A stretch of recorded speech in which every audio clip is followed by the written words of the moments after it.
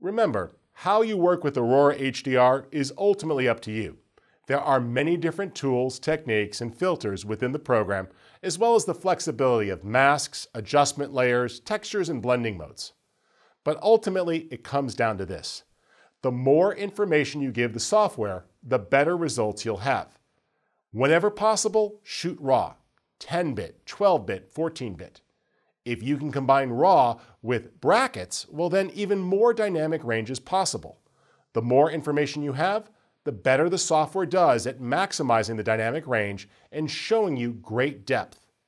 Now, this is quite useful for black and white workflow, as well as creating all sorts of creative portraits, landscapes, and nature photographs.